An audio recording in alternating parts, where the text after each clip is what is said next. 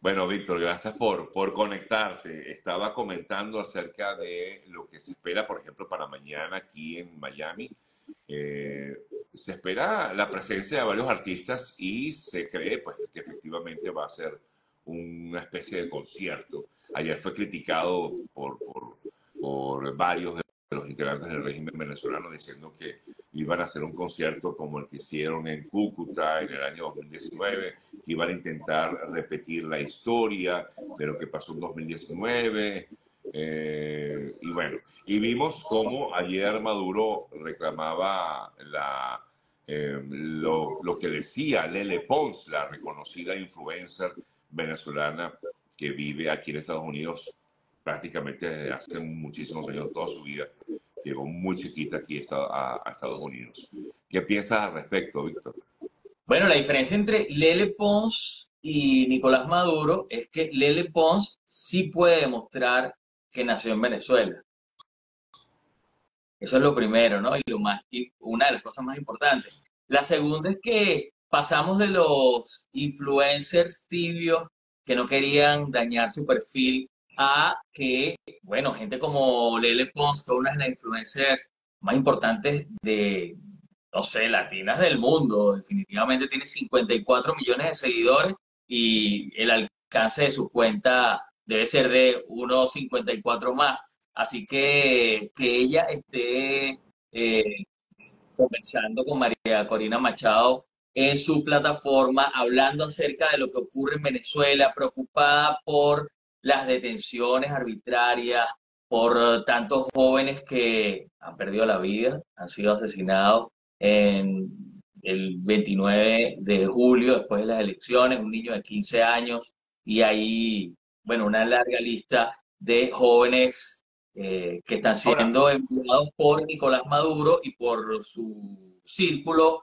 cercano a, él mismo lo ha dicho, a penales como, como Tocuyito. Entonces es muy importante que Lele Pons esté tomando parte como venezolana y eh, además le da un ejemplo al resto de las personas, que todas las personas que están conectadas ahora mismo con nosotros pueden aportarle al país en este instante. Si ustedes se han preguntado qué puedo hacer, bueno, lo que pueden hacer es retuitear información, eh, contarle al mundo qué es lo que está ocurriendo y por supuesto tratando de que sus amigos, sus seguidores, sus familiares estén unidos eh, luchando por una Venezuela en democracia, una Venezuela próspera, que es lo que e, es la diferencia entre los que desean quedarse y eh, los que ganaron las elecciones el 28 de julio eh, señor Edmundo González Urrutia, que envió un mensaje bien fuerte en el día de ayer, pero por supuesto en su tono, en su palabra,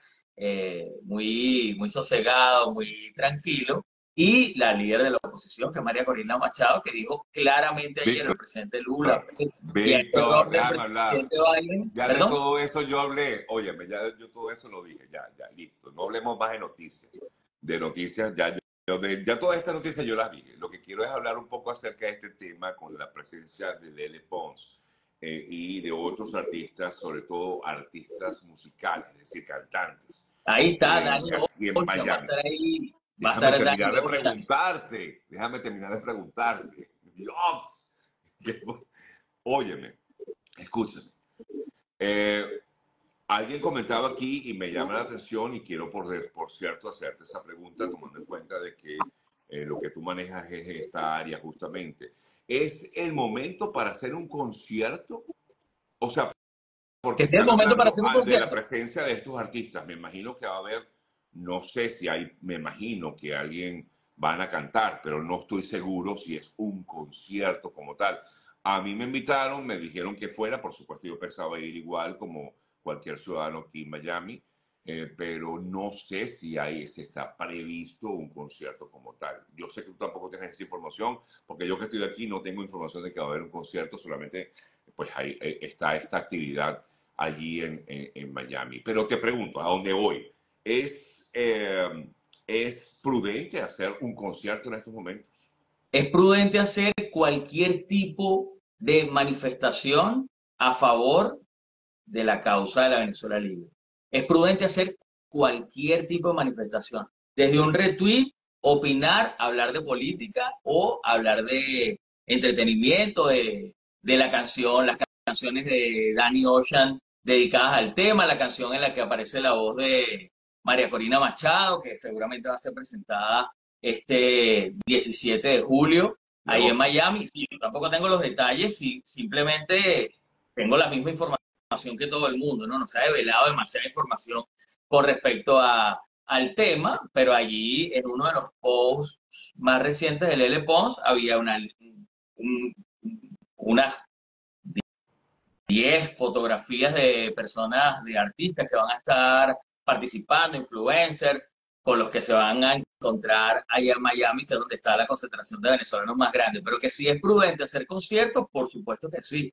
El mensaje que llegue a los jóvenes de la manera, de la manera en la que tiene que llegar. Ahí veías a María Corina Machado hablando en una entrevista exclusiva que le dio esta semana a Lele Pons, habló con Molusco, la vi ayer, estuvo hablando con Chente también, que son un par de influencers eh, puertorriqueños muy conocidos, con muchísimos seguidores, para llegar a, ese público que está, bueno, pendientes de, los medios sociales, que ya no, deberíamos seguirlos llamando redes sociales, sino medios sociales, como lo hemos hablado tú y yo desde hace muchísimo tiempo, los jóvenes que están conectados a través de estos medios y que no se conectan ya con los medios tradicionales o que lo hacen muy poco, esporádicamente. Entonces, si están allí, María Corina Machado y su equipo están haciendo un trabajo realmente brillante para mantenerse conectados con la juventud, con la gente que está allí conectada, pues eh, en línea. Y sí, un concierto es perfecto para este momento. Cualquier, cualquier manifestación.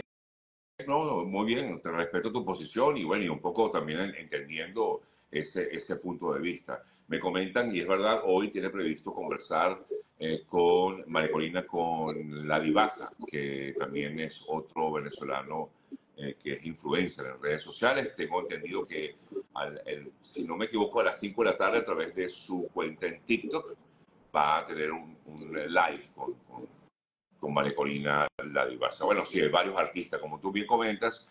La semana pasada hablábamos, o antepasada, hablábamos de la, bueno, de la tibieza de algunos artistas, de no querer apoyar eh, todo este proceso de cambio que vendía para Venezuela, de quedarse callados o de ser eh, cómplices un poco de todo esto. En cambio, otros, como bien has comentado, pues más bien han hecho todo lo contrario, se han manifestado abiertamente y más bien han apoyado y ahora pues apoyarían con esto. Repito, esto no es seguro de que haya un concierto como tal, pero me imagino que si son artistas y son compositores y cantantes, posiblemente algo va a salir de allí. Algo Debería haber un concierto con Danny Ocean, por lo menos que es que, tiene una, este, este, tema eh, en promoción y que se ha visto bastante eh, ligado a, a la causa. Una de las cosas que siempre le ha salido bien al régimen es separar a los que estamos fuera de Venezuela, a los venezolanos que estamos fuera de Venezuela, de los que están dentro. La semana pasada me preguntabas cuál era el objetivo de Maduro al atacar a WhatsApp, al atacar a X, y evidentemente Maduro lo que quiere, y te decía, es de terminar de desconectar, secuestrar por completo a los venezolanos que están dentro del país y tratar de, bueno, de atacarlos, de, de, alguna manera, eh, sí, desarrollar su, seguir desarrollando, implementando, instaurando su dictadura, manteniéndolos separados de nosotros, un poco con el ejemplo de Cuba. Y ellos han logrado eso varias veces. Han logrado que los venezolanos que están afuera comiencen a decir, bueno, pero si tengo una vida aquí, ¿por qué tengo que estar conectado con mis redes o ayudando a la gente que está adentro? O sea, hay personas que se me han acercado en todo este tiempo, sobre todo antes de la pandemia, para comentarme, no me siento bien, tengo que desconectarme de Venezuela de alguna manera. O sea, ellos siempre, esa, a ellos siempre les funcionó esa estrategia. Eh, eh, pero creo que también ayudaba al tipo de liderazgo que, que al que se estaban enfrentando en esos momentos.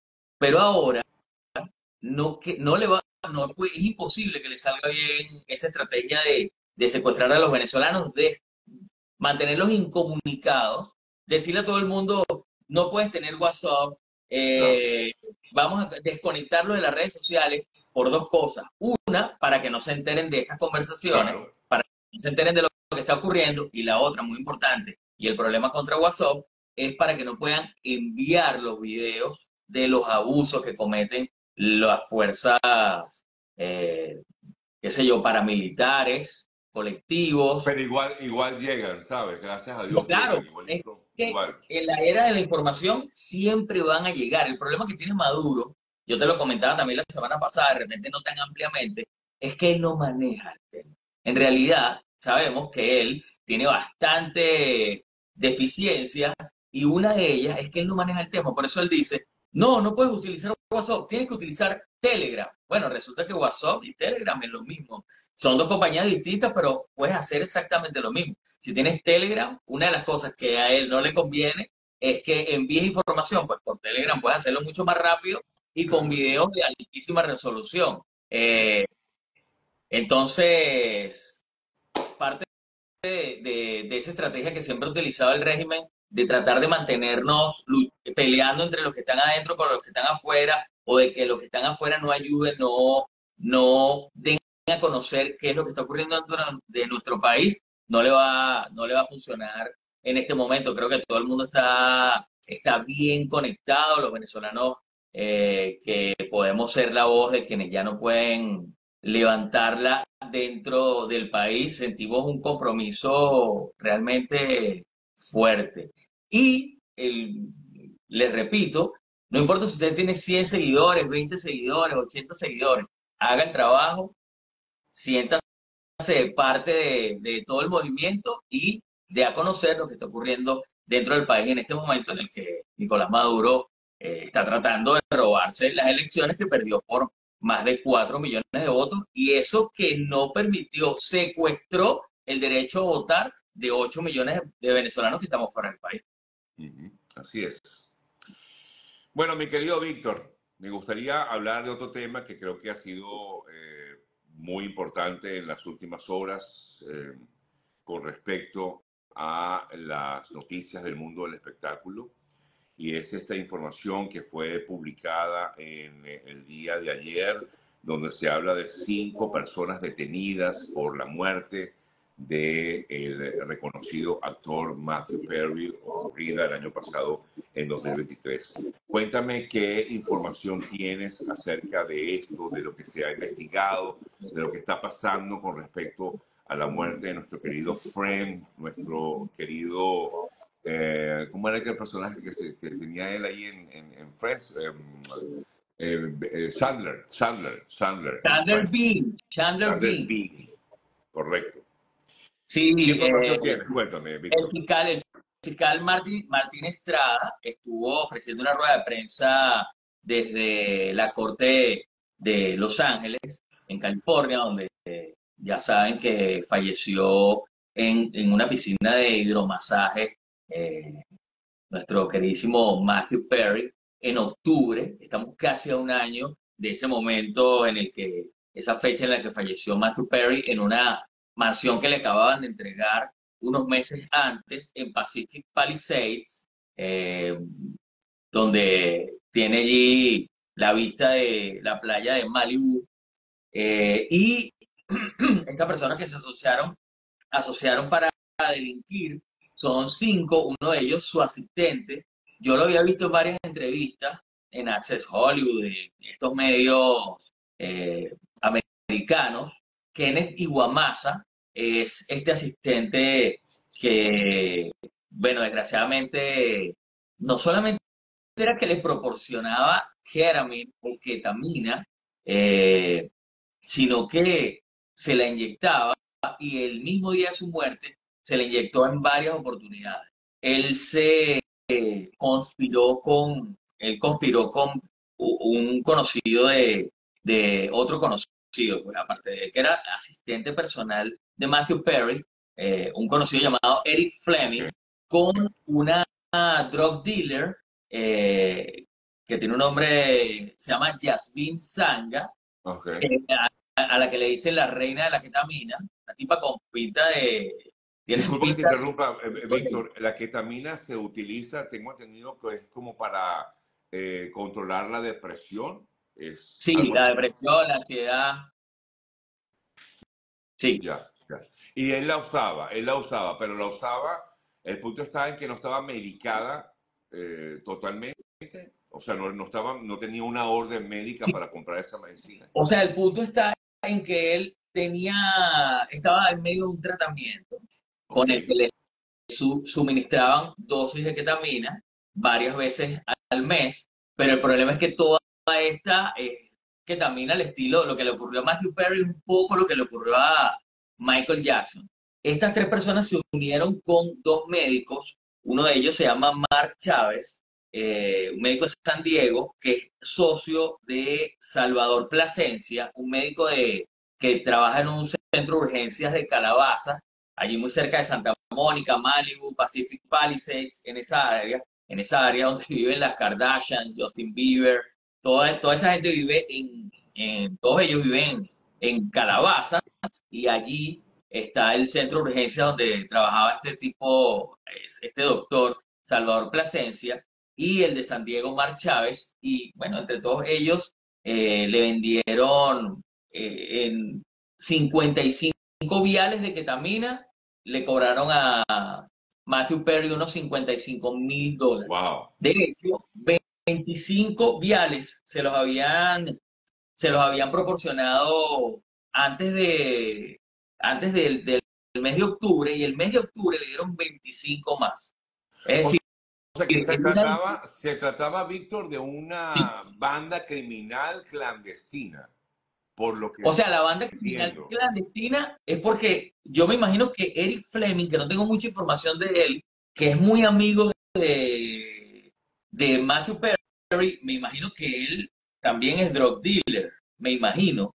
Eh, entonces se, se alían con esta mujer llamada eh, Jasmine Sanga, que es la reina de la ketami- ketamina en una zona Wow. eh, llamada O sea, North pero, Hollywood. eh, a ver, a ver si logro entender, y discúlpame, Víctor, que es que estoy tratando Sí. de comprender un poco.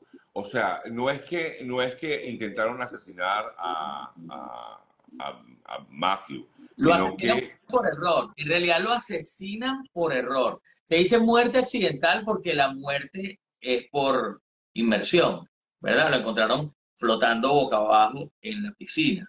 Entonces la muerte es accidental, pero cuando le hacen los estudios descubren que hay altísimas dosis de ketamina y que no se corresponde con el tratamiento que él llevaba, porque la ketamina desaparece de la sangre en unas horas.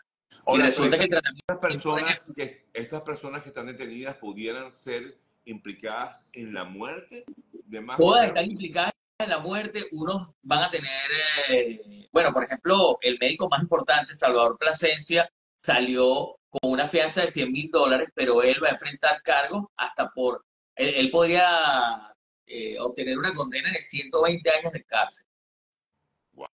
Es decir, va a librarse de esa condena para Salvador Plasencia va a ser difícil. ¿Y por qué? Bueno, primero porque es médico, porque utilizó su licencia médica para distribuir ketamina y además por los mensajes de texto o mensajes de WhatsApp, WhatsApp que le encontraron en sus teléfonos. Wow. Él decía, vamos a ver cuánto está dispuesto a pagar este imbécil por, por la ketamina. Es Wow. uno de los mensajes que le encontraron a él y lo mencionaba Martín Estrada y una de las pruebas eh, que demuestra que todos ellos sabían que, bueno, se estaban aprovechando de un adicto y que en cualquier momento podía fallecer. Es decir, no es un asesinato directo, no fue que dijeron vamos a matarlo, pero como Claro, en el un caso de homicidio, un homicidio culposo. culposo, sí, un homicidio culposo. Vamos a ver de todas maneras, eh, Claro, porque Matthew muere, como tú bien decías, en, en, en el jacuzzi o en la piscina de su Sí. casa, ¿no? sí, Eh, y po- porque se ahoga. Porque es que Se ahoga. que lo que te genera esta medicina, esta ketamina, es que te adormece. Entonces, claro, eh, altas dosis, me imagino que se habrá quedado dormido. Es lo que Sí, entiendo. pero tam- también es un psicotrópico. O sea, también tiene. Sí. Pero sí, te, te adormece, eh, te. como que hace más lentos los latidos del corazón. O sea, tiene una serie de, de características que, que no, no te permiten defen- defenderte cuando estás drogado Wow. con, con ketamina. Wow, qué, qué triste, vale, de verdad, porque imagínate tú el hecho de, de que una situación difícil tratas de controlarla, digo, la depresión, la tratas de controlar y terminas haciéndote, haciéndote adicto a, una, a un medicamento que te termina acabando, acabando con tu vida por el exceso, ¿no? Claro, y el problema de Matthew Perry no es que él simplemente comenzó a utilizar ketamina para en contra de, la depresión, y era como si lo utilizaras tú o yo. Recuerda que él era un adicto a las drogas en medio de Friends, de, de todo su, su momento más, más importante de éxito. O sea, en medio de todo eso, él dijo, de hecho, en varias, en varias declaraciones, dijo que no recordaba años de, de lo que le había sucedido en varios años de Friends, porque siempre estaba drogado. O Wow, sea, y que de hecho ver los capítulos de Friends no le gustaba porque él llegó a determinar aquí está consumiendo tal droga. Y en este periodo que estaba más gordo, o sea, más hinchado, estaba consumiendo tal droga. O sea, decía que eso lo, lo, lo deprimía. Y una vez vi una declaración de Matthew Perry, mucho antes de morir, donde él contaba que a veces rentaba una habitación de hotel y se metía allí a, a ver televisión y no salía en semanas, porque no quería que la gente lo reconociera, no le gustaba que la gente viera y le claro, preguntara, ¿sabes? Que estaba gordo, que estaba inflamado, hinchado, perdió los dientes como parte de la adicción a, a la heroína. O sea, fuerte, muy fuerte, muy fuerte. Mira, eh, Víctor, te preguntan, siempre, Sergio, aquí, que nosotros admiramos a toda esta gente eh, porque son muy exitosos. Y bueno, fíjate, estaba estrenando una mansión y su mismo asistente le había inyectado ketamina varias veces el día que falleció. sí, Michael Jackson falleció en una super mansión que está ubicada en Beverly Hills.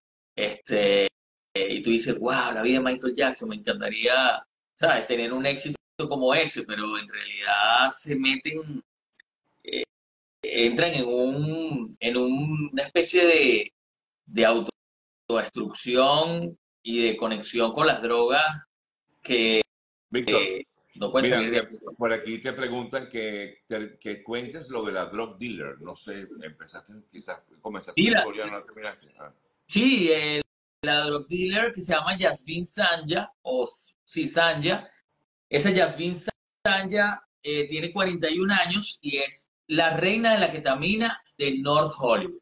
Así la denominan, la llaman así, la reina de la ketamina y es una drug dealer. Yo me imagino que Eric Fleming, que es amigo de él, era una especie de drug dealer que lo conectaba con toda esta gente del bajo mundo y el asistente se llama Kenneth Iwamasa, que fue el que eh, le, le proporcionaba la droga y se, se conectó con todos estos, estos dos doctores, eh, Salvador Plasencia y con eh, Mark Chávez, para wow. Comercializar o obtener dinero, obtener ganancias de la adicción de Matthew Perry. Algo súper, súper triste. Yo en algún momento, hace cuando se armó toda, toda la laraca de, de Will Smith, decía, bueno, pero ¿cómo, cómo maneja tan mal el tema de la crisis que tiene? O sea, la crisis de reputación. Pareciera que esta gente que se convierte en asistentes de estas estrellas tiene unas características que pareciera que no son conocedores del área de la comunicación, del área de la relación pública. Definitivamente no, porque fíjate, son asistentes que terminan complaciéndolos con sus adicciones más, Mira, más bajas y bueno, se meten en este, este tipo de operaciones, ¿no? sí, eh, Víctor, una pregunta que te hace alguien aquí y de verdad me hizo pensar, oye, sí, ¿cómo se llegó a toda esta historia? O sea, que cuando eh, muere Matthew Perry comienza la investigación y digamos que ahorita es que... Ah. Sí, porque eh, Martín Estrada es el, el fiscal federal, el fiscal encargado de, de la investigación. Una vez que descubren que Matthew Perry tenía altas dosis de ketamina, como saben que es un, un, un medicamento que no puede obtener cualquier persona, como tenía dosis tan altas, entonces dijeron, ok, lleguemos de una vez a Ya, quien, ya. quien dónde está el drug dealer, dónde está, cómo fue la distribución, cuál fue el último asistente que estuvo con él. Yo recuerdo haber visto a Kenneth Iguamase diciendo que él no estaba ahí porque él salió a, o a los asistentes decir, porque había también una chica que declaraba, voy a buscar eh, esa, esa información esta tarde, eh, diciendo que ya el asistente no estaba ahí porque estaba buscando unos lentes, un teléfono celular que le había llegado, lo inyectó varias veces y lo dejó solo, sabiendo cuáles son las, las características de una persona que, que consume este tipo de, de fármacos que son, son gravísimos. Por eso era que cuando, en la reunión de Friends, Matthew Perry hablaba tan lento. Claro. Estaba,